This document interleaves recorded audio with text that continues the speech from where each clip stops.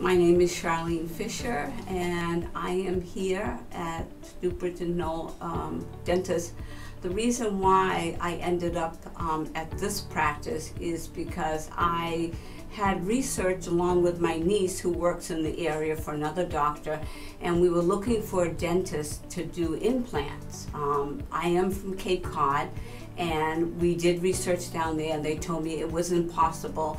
Uh, I have no bone, and that I would have to be without dentures for a good long time, and I wasn't going to do that.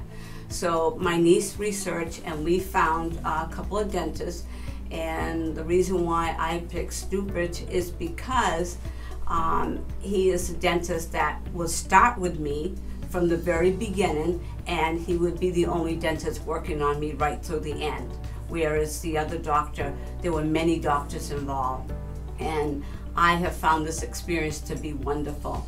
Uh, now I have teeth that stay in my mouth. I'm not, um, you know, it's not constantly falling.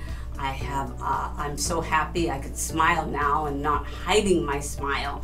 Uh, it's just been a blessing in disguise and it's been, uh, you know, a process, but I'm so happy I did it. And I wish I only, my only regret is I didn't do it earlier. But I'm very, very happy and I can't say enough. Dr. Stuparich is very, very meticulous. He makes sure if you don't like it, he'll redo it and he works with you. So I just am over the moon and I can smile now.